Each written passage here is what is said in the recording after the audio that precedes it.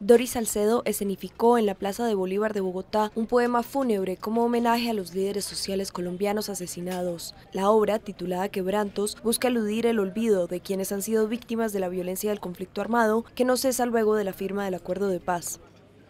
Yo creo que nosotros tenemos que pensar que el, el, posconflicto lo estamos haciendo aún en la guerra, pero esa guerra tenemos que concientizarnos que hay que, que hay que pararla, hay que humanizarla. Entonces, eh, las personas que han sido asesinadas, las asesinaron una vez. Pero si nosotros los olvidamos, los vamos a asesinar dos veces. La propuesta de la escultora colombiana se hace en compañía de la curadora de la intervención, María Belén Sáez, así como el presidente de la Comisión de la Verdad, el sacerdote jesuita Francisco de Rú. La obra contó con la colaboración de mil voluntarios y de 135 líderes sociales de distintas regiones del país, que fueron los encargados de romper el vidrio para formar las letras de los nombres de sus 175 compañeros. Desde el comienzo pensamos que esta acción de duelo tenía que ser un ritual y no una técnica.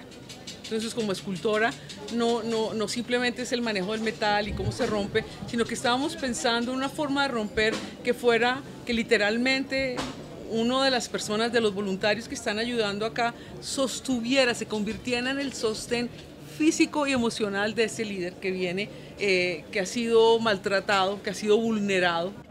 Entre enero de 2016 y febrero de este año han sido asesinados 462 líderes sociales y defensores de derechos humanos en Colombia, según la Defensoría del Pueblo. El asesinato de líderes sociales es especialmente notable en los departamentos más convulsos del país, en los que hacen presencia las disidencias de las FARC, la guerrilla del Ejército de Liberación Nacional y un reducto del Ejército Popular de Liberación. Según cifras del gobierno colombiano, 4.500 líderes sociales tienen custodia de la Unidad Nacional de Protección.